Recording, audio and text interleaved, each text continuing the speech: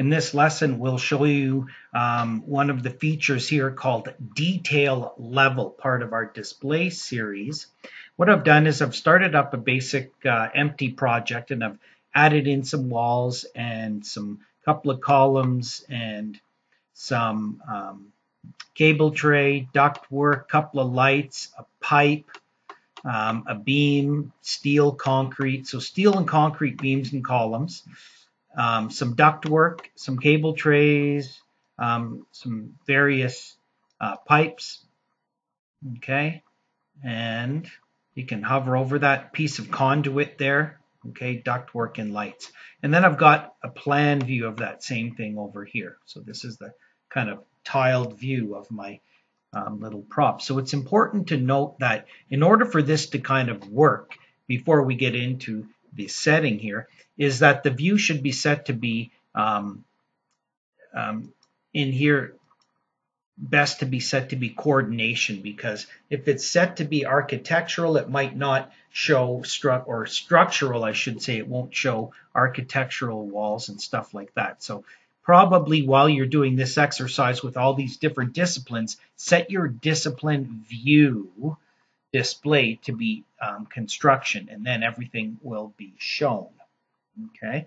The other thing is in order to get your elbows and fittings to work in here, you have to make sure that you've uh, brought in the right fitting types and duct and um, pipe types. So most template files don't have all of the structural and electrical and mechanical in one. So um, just remember that if you're going to try to build something like this. But for the most part, it's the lesson here that we're going to learn that is important. So having said all of that, if you go into any view and you go down here on the bottom of our display, it says detail level.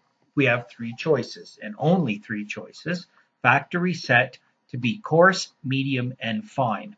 Now, before we start to click these, these families themselves have been predetermined on how to appear when they're in coarse, medium, or fine. Some of them are system settings, you can't change it, but other custom made families that you make, you can control yourself how the line work changes between coarse, medium, and fine detail. So each view has its own setting. So right now it's set to be fine. We change this view to be medium. Oh, good old Revit's asking me to save. I'll hit cancel on that. Let's try this again. Fine detail. Okay.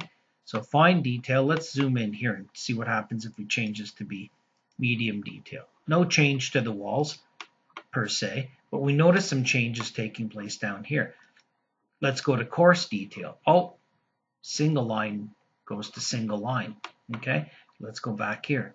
Medium detail. Oh, the ductwork and the and the um, cable tray kind of change, but this piping stuff in the conduit is still single line now we change this to say fine detail, and then the um, cable tray and the pipes and the these pipes and the conduit are full double line work. So lesson learned here is, and let's check our steel beams here as well. Coarse detail, steel beam disappears completely. I'm not sure why it did that. Medium detail is there. Um, coarse detail, it should go to a single line. Not sure why that is. Notice concrete beams will change between coarse, medium, and fine, but steel beams will not. Let's go over here, do it from here. Uh, medium detail and coarse detail. That's what I was expecting to see. So um, in coarse detail, pipes and cable tray and ductwork and steel beams and steel columns all go to single line. Okay. If you go to medium detail, okay, cable tray changes, but not super high detail. The column changes, the beam changes, the ductwork changes, but the conduit and the pipes at medium detail still single line.